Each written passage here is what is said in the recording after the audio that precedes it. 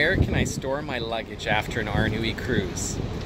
After an Aranui cruise, you get off normally at 9 o'clock in the morning, and many people wonder what can I do with all my luggage while I'm waiting for my flight home. Well, there's a couple of different options. One, you could take a tour of the island and do a Papeete City tour followed by an island circle tour and that would take the day and bring your luggage with you. Another option would be to get a day room at one of the resorts near Papeete.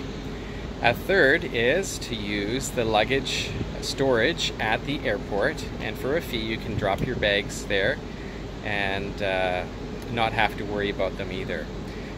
The last option I can recommend is you can leave it at the Aranui office.